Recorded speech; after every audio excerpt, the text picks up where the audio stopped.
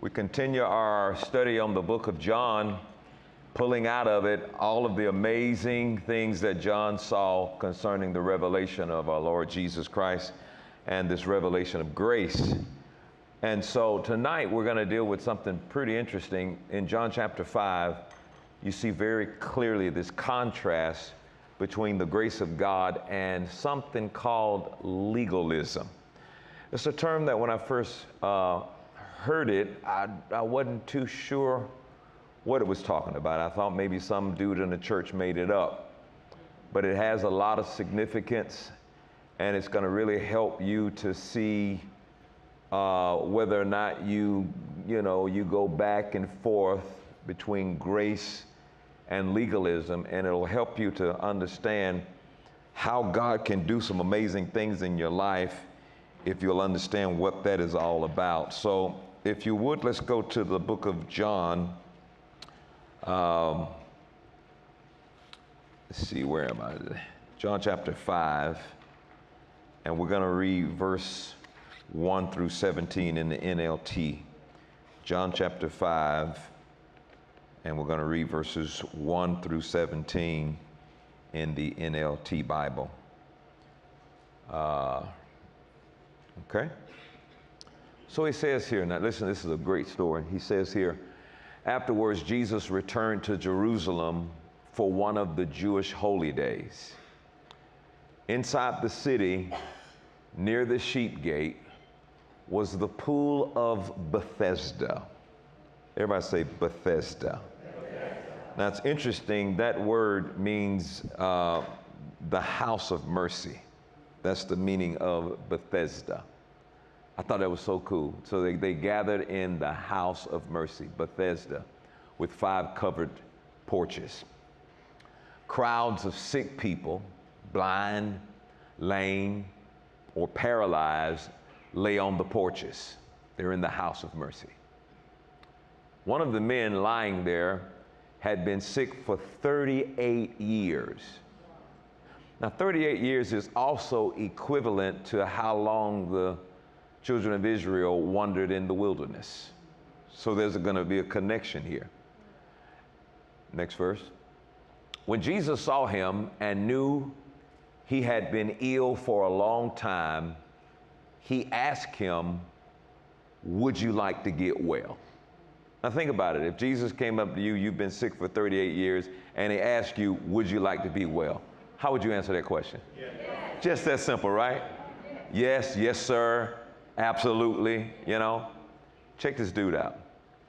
Um, he asked him, Would you like to be, get well? He says, I can't, sir. Huh. Well, he's been sick for 38 years. Would you like to get well? I can't, sir. The sick man said, For I have no, watch this, for I have no one to put me into the pool when the water bubbles up. Someone else always gets there ahead of me. Huh. Oh, that's so amazing. I hope you see it already before I even tell you. I ain't got nobody to put me in the pool. You've been sick for 38 years. Why? I ain't got nobody to put me in the pool. All right, watch this now. Jesus told him, Stand up, pick up your mat, or that was his bed. Stand up, pick up your mat, and walk. Now, instantly the man was healed. he rolled up his sleeping mat, began walking. But this miracle happened on the Sabbath. So the Jewish leaders objected. I mean, forget the fact the man who been sick for 38 years just got healed. They objected because you did it on the Sabbath. They said to the man who was cured, You can't work on the Sabbath. The law doesn't allow you to carry that sleeping mat. Now, I'm going to show you a little later on. They stoned a man to death because, according to the law, you couldn't do it. They stoned a man to death for picking up sticks on the Sabbath. But he replied, The man who healed me told me, Pick up your mat and walk. Who said such a thing as that? they demanded. The man didn't know, for Jesus had disappeared into the crowd. But afterwards, and I just love it so much, Jesus is not waiting around for somebody to give him approval. But afterwards, Jesus found him in the temple and told him, Now, now you're well, so stop sinning. You well now, so stop sinning, or something even worse may happen to you. Then the man went and told the Jewish leaders that it was Jesus, look at that, who had healed him. So the Jewish leaders began harassing Jesus for breaking the Sabbath rules. But Jesus replied, My Father is always working, and so I am. So, or so am I. Now, I want to deal with the, the first 17 verses. If we get to the rest, we can. And one of the things that I'm seeing here is that grace does not only provide life for all of us, but a more abundant life. Please understand, grace provides abundant life for us. And to do so, in order for grace to provide abundant life for us, we got to be delivered from the helplessness of life as people lived it under the law principle. They lived it under the law principle. Now, the house of mercy, that's Bethesda. All those who were in that house, they have not received all that grace has for them. So when Jesus asked this guy, Wilt thou be made whole? He said something that I hope, you caught. He said, Sir, I ain't got nobody to put me in the pool. Now, it was bigger than that because when the water is troubled, he says in verse 6 and 7, and I'll, I'll, I'll repeat that again in verse 6 and 7, he said, uh, uh, When the water is troubled, I don't have any man to put me into the pool, but while I am coming, another steppeth down before me. Verse 6 and 7. So these 38 years, this guy has been wasting away. Wow. Why was he wasting away, according to his own words? Because of the failure of human strength and human help. He's wasting away because of human strength and human help. In other words, he had been depending upon self and others.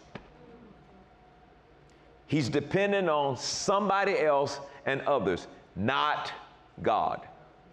He's depending on self and he's dependent on others. Now, I want to look at, just hold a, a pin right there, the, the 38 years that Israel, under the leadership of Moses, wandered aimlessly in the wilderness, and God commanded them at Kadesh it's in Deuteronomy 2:14. He commanded them to turn back. He told them to go back into, into the wilderness. And then it says, until all the generations of the men of war were wasted out from among the host. So, according to Deuteronomy 2:14, let's go in the wilderness because you all are self-dependent Let's get everybody in there until all of that has been wasted away. And in those 38 years under the leadership of Moses, the lawgiver, um, there was a wasting away. It was a period of, a period of impotence, uh, helplessness, um, when nothing was accomplished for 38 years.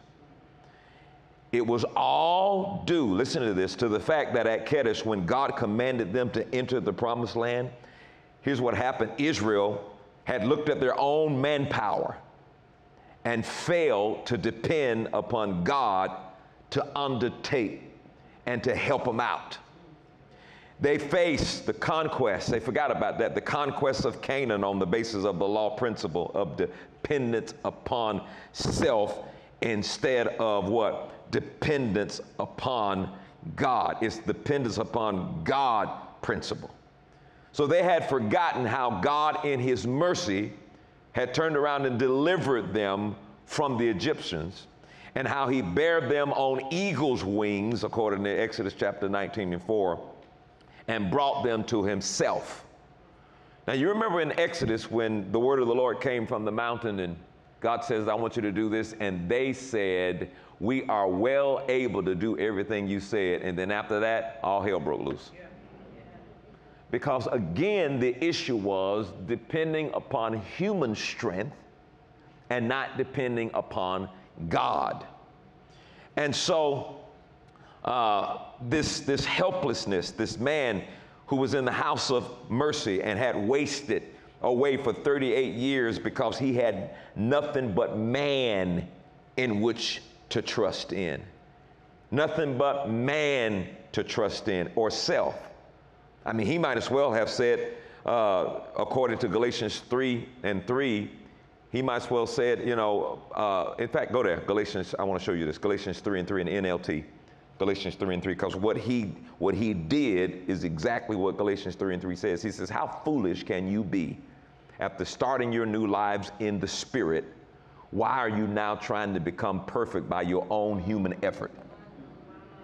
You started life in the spirit, and now you're trying to become perfect through your own human effort. That describes religion today. That describes the church today. We, we somehow after we started in the Spirit, somehow we allowed ourselves to go back to that old way of thinking, trying to deal with things, depending more on human effort, somebody else, trusting what somebody else does, and we don't even realize that we're not depending and trusting on God. I tell you, this whole thing that we're going through right now is trying to get us to a place where we drive out that toxic spirit of self dependence and learn how to depend on God in everything. So let's look at another type real quick. As Joshua, that's a type Christ, okay? Joshua's a type Christ. Led Israel into the promised land after the death of Moses, just like Joshua did. They didn't get in when Moses left, so Joshua led them to the promised land. So Jesus delivered this impotent man from his state of wasting this, ladies and gentlemen, is grace. God's abounding provision and love for him who will depend on him and trust in him. God wants to do some amazing things in our lives if we can, uh, I won't say if we can depend on him. I'm going to say if we can start practicing depending on him. Okay? If you'll start practicing, if you can just in your everyday walk with God, become consciously aware. Make, say it out loud if you have to. Become consciously aware. Today, I'm going to depend on God. Some of us are very tempted to depend on our intellect, depend on who we know, depend on the fact that we've done this before, depend on the fact that we've done this for 20 or 30 years. And it really, it really takes a conscious effort to say, Lord, show me how to depend on you. Because what happens is he's training us right now. So when these crazy times hit, well, they're already here, but when these crazy times show up in your life, you're already conditioned in depending on God. Not just with our mouths. We, as Christians, we do a lot of things with our mouth that don't translate in our life. Okay? And we're talking about translating this stance, it's a faith stance, depending on God I depend on God. But now you have to balance it. Like this, this Sunday, I'm going to talk about grace and faith uh, in the midst of discomfort because some people get the idea that you just let let things happen. You just you just sit there and get beat up. No, no, no. You're fighting a, a, a, a good fight of faith. You're not you're not just sitting there and let the devil beat you up. You're not sitting there and let let suffering beat you up. You're standing against it. That that's where the growth comes from there's got to be some resistance. Glory to God. You have to resist it. The Bible says, submit yourself to God, resist the devil. So if he's coming at you or if trouble's coming at you, you, you, gotta, you gotta resist it. And a lot of Christians, they either go, we love going to, to, to the extreme on one end or to the extreme on the other end, and we don't find that, that middle ground. Yeah. Well, nobody, you know, it's like you get a truth and then you erase everything else you ever learned, you know? You don't want to do that. You get the truth and you say, all right, I know I know this is a victory that overcomes the world, even my faith. I know my faith is dependent on God. I know it's important for me to maintain the right attitude, to maintain the right stance. I know it's important that you know, the, my part of suffering is maintaining the victory that Jesus died to obtain. I'm going to do all of that and still know that when I come out of this discomfort, I'm going to be better than I was before. It's not a matter of God doesn't throw bad things at you to make you better. We ain't talking about that, okay? We're talking about it's going to come because you who are Christians, you who are godly, to suffer persecution. So since it's to come, let it meet somebody that's been conditioning their lives independent on God. Let them, let them meet somebody that says, all right, now I'm in this thing, but I'm not just going to sit in here and let you beat me up. I'm, I'm going to pull up the name of Jesus, praying in English, praying in tongues. I'm going to pull up the scriptures. I'm going to pull up my Psalms. I'm going to lift my hands. I'm going to worship. I'm doing all of that. The training, listen, you, you, you're not going to get you're not to get physically in shape by showing up in the weight room and just sitting down. Same thing in the place of discomfort. When discomfort comes, it, it shows up, but you're ready for a fight. You ready for a fight? We get the idea of where discomfort is here. Let's just be satisfied and we're going to grow as a result of it. Not if you're not pressing the weight, not if you're not resisting, not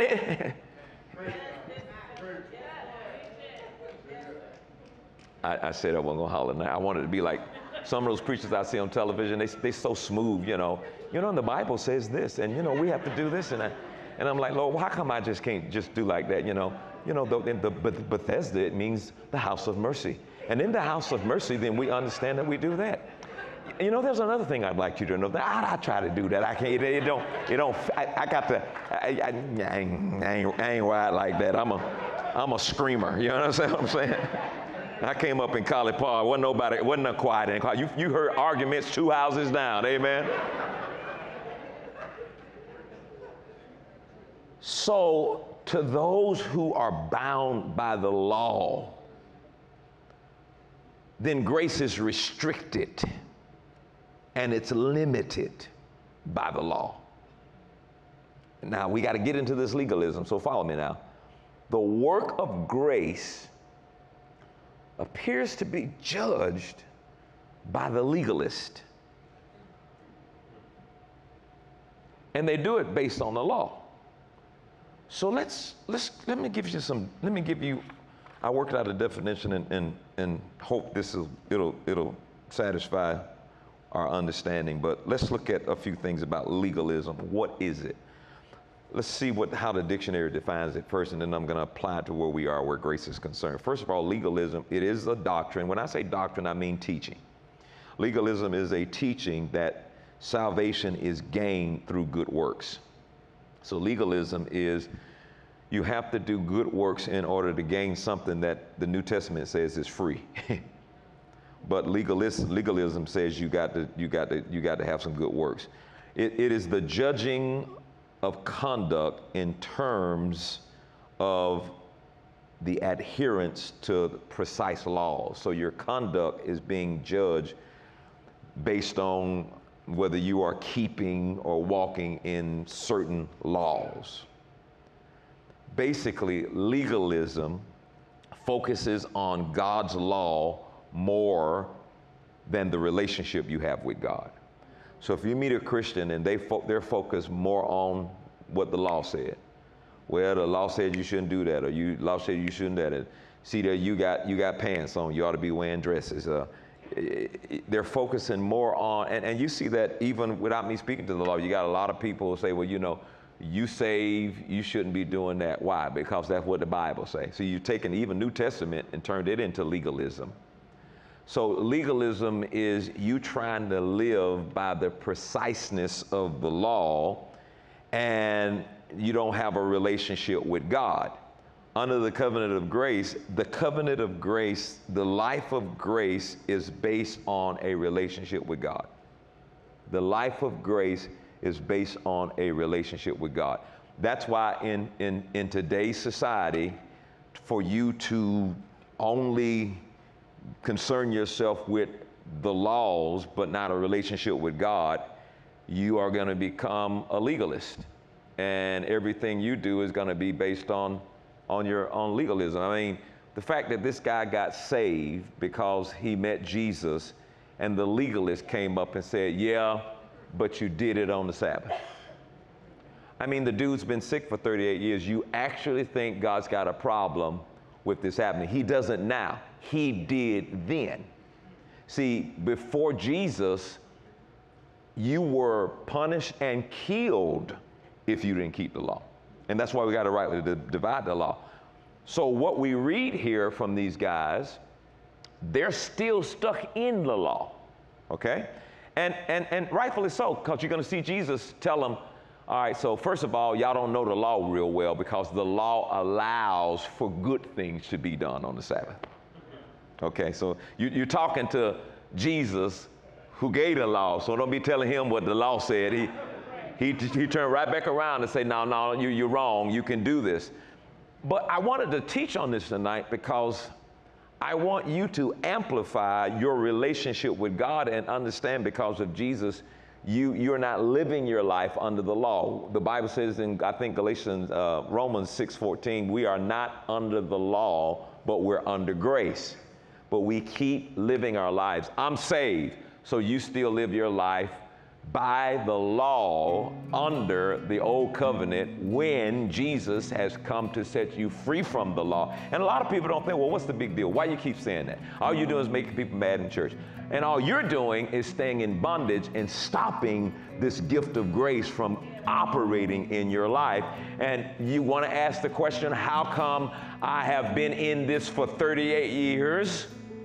Yeah because you've been dependent on the law and human effort